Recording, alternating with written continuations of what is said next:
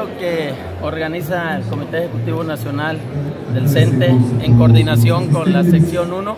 Son foros que se están llevando a cabo a nivel nacional.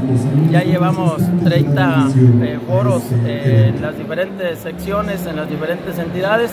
Y el día de hoy corresponde aquí a la sección 1 Aguascalientes.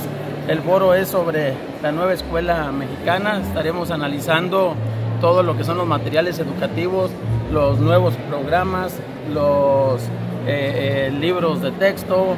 En general es un acercamiento con todos los supervisores, jefes de sector, directores de secundarias generales, de secundarias técnicas, eh, compañeros docentes de todos los niveles.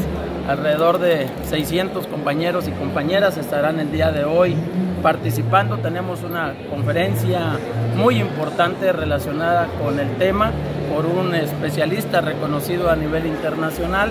Y bueno, pues estamos listos para tener una jornada exitosa.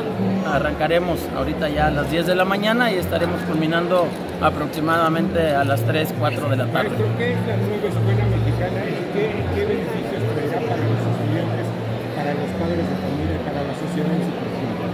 Bueno, cada sexenio el gobierno que llega implementa sus programas, implementa sus proyectos.